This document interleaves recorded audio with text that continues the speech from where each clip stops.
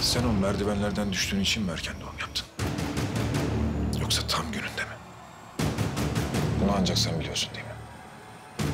Hakikati, gerçeği yalnızca sen biliyorsun değil mi? Hadi bir daha söyle. Adnan benim oğlum mu Yılmaz'ım mı Züleyha? Müteker Hanım kalp krizi geçirdi. Ne? Beni sevmişsin, sevmemişsin. Ben seni sevmişim, sevmemişim. Umrumda bile değil demiş. Çocuğumu bana ver. Hürriyetimi bana ver. Senin için gerekirse ölürüm. Buna mani olan herkesi öldürürüm. Herkesi. Sen yoksan hiçbir şey yok. Benim için dünya yok.